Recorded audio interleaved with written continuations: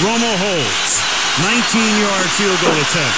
Oh, it is fumbled by Romo, and then Romo's going to run to the end zone, and he's going to get tackled by Jordan Babineaux.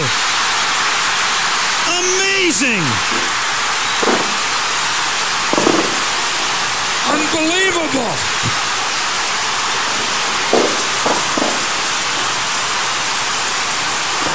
How crazy is this?